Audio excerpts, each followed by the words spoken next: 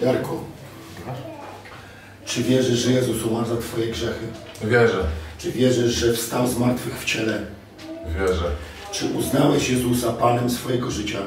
Tak, uznałem. Ja na podstawie Twojego wyznania chrzczę Cię w imię Ojca i Syna i Ducha Świętego.